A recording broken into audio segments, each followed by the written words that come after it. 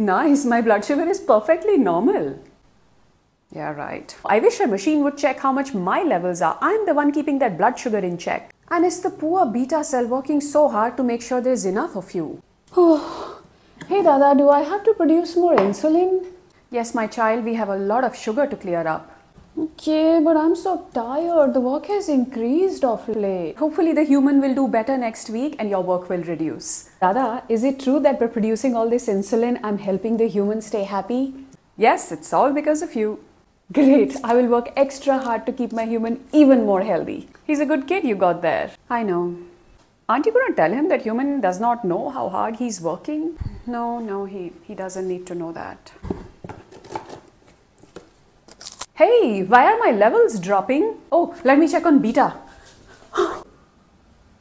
I think we have lost beta. Oh no, if my production drops, the blood sugar will shoot up.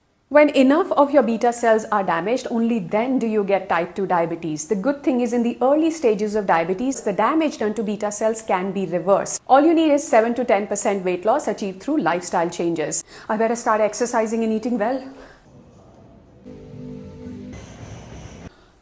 What happened to me? But as the diabetes gets older, the damage gets more permanent and harder to reverse. So the earlier you start, the more effective it is. Focus on lifestyle changes, they really do work.